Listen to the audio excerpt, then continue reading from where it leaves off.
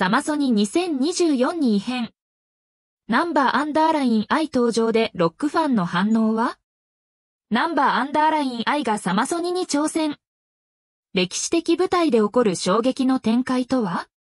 国内最大級の都市型フェスティバルとして知られるサマーソニック2024に平野翔、神宮寺雄太、ガンユータの3人によるダンスボーカルグループナンバーアンダーライン I が出演することが発表されました。このニュースは音楽ファンの間で大きな話題となっています。ナンバーアンダーライン I の出演が発表されたのは第7弾追加アーティストとしてであり、8月17日に東京会場、翌18日に大阪会場でのステージが予定されています。彼らの出演がどのような反響を巻き起こすのか多くの注目が集まっています。ナンバーアンダーライン I は4月にアメリカ最大級の音楽フェス、コーチェラバレーミュージックアーツフェスティバル2024の特別ステージ、88ライジングフューチャーアースに出演して話題となりました。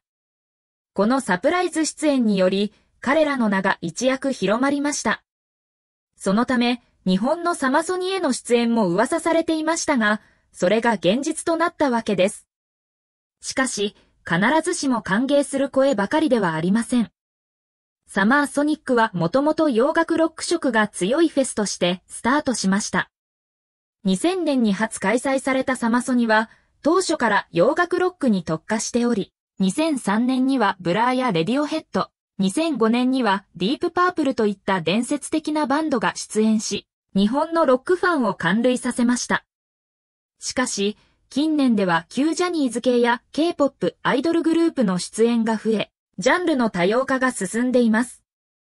この変化に対してネット上ではサマソニってアイドルフェス？アイドルのファンは来るなといった批判的な声も見受けられます。その一方で、業界関係者はナンバーアンダーライン I の最新ミニアルバム、ノー・オー・リングに注目しています。このアルバムには新曲スクエアアンダーライン1が収録されており、この曲の作詞、作曲、編曲を担当したラッパーのパンピーも、ナンバーアンダーライン I と同じ日にサマソニ東京会場に出演することが発表されています。パンピーは現 AKB48 の秋元さやかの夫としても知られており、ネット上では、パンピーさんもサマソニに出演されますね。パンピーさんがナンバーアンダーライン I と同じ日にいるじゃん、といった期待の声が上がっています。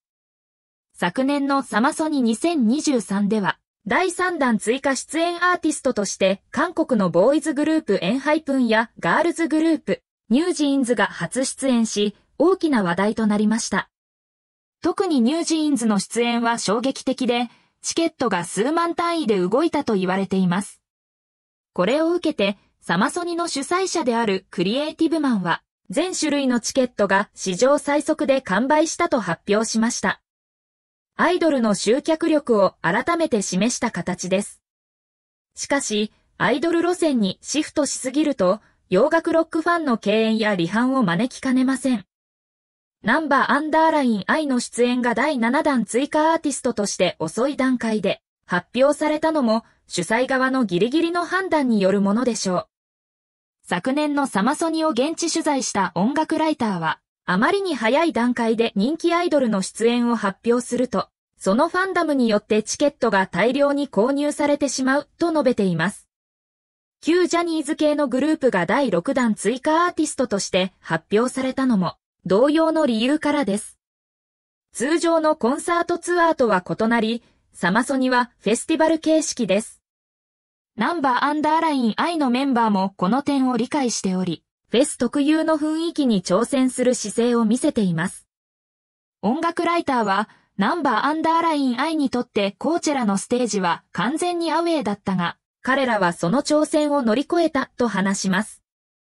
アメリカでの初ステージで観客の心をつかむことができるかという大きなチャレンジに対し、彼らは見事に依頼ました。サマソニでも同様に、彼らの実力が問われることになります。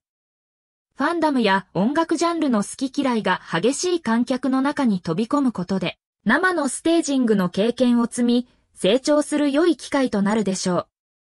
新曲、ボン、の YouTube 公式動画は公開2日で1000万回を超える大反響を呼びました。このような成功例をもとに、洋楽ファンも彼らのステージに関心を寄せる可能性があります。ナンバーアンダーライン I の出演会場は、マリンステージと呼ばれる ZOZO マリンスタジアムで、収容観客数は3万人です。昨年の8月19日にはニュージーンズが正午からパフォーマンスを披露しましたが、猛烈な暑さのためにステージ前に詰めかけた観客が倒れるというハプニングがありました。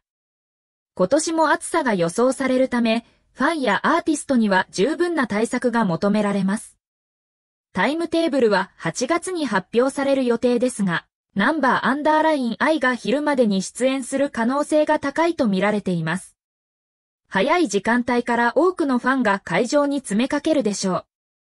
終演後、時間が余ったナンバーアンダーライン I のファンが他の洋楽アーティストのステージも回り、サマソニ全体に関心を持つことを主催者側は期待しています。しかし、昼間のマリンスタジアムは猛暑が予想されるため、アーティストの体力も奪いますし、ファンにとっても過酷な環境となるでしょう。特に女性ファンは日焼け止めや水分補給などの暑さ対策に万全を期す必要があります。強烈なアウェー感と猛暑という試練をナンバーアンダーライン I が乗り越えることができるか、注目が集まります。サマソニ2024におけるナンバーアンダーライン I の出演は、音楽シーンにおける新たな挑戦と変化を象徴しています。彼らの成功が他のアーティストやフェスティバルにどのような影響を与えるのか、今後の動向が注目されます。また、サマソニという舞台が持つ意味や役割も再考されるべき時期に来ているのかもしれません。フェスティバルが持つ本来の意義を見失わず、様々なジャンルの音楽を楽しむ場として進化していくことが求められています。このように、サマソニ2024はただの音楽イベントではなく、音楽ファンやアーティストにとって重要な交流の場であり、挑戦の場でもあります。ナンバーアンダーライン I の出演をきっかけに、フェスティバルの持つ可能性や未来について考える良い機会となるでしょう。これからも音楽を愛するすべての人々にとって、サマソニが魅力的であり続けるためには、どのような工夫や努力が必要なのか、引き続き注視していく必要があります。サマソニ2024がどのような成功を収めるのか、そしてナンバーアンダーライン I がその中でどのようなパフォーマンスを見せるのか、非常に楽しみです。このフェスティバルが音楽シーンに新たな風を吹き込み、さらなる発展を遂げることを期待しています。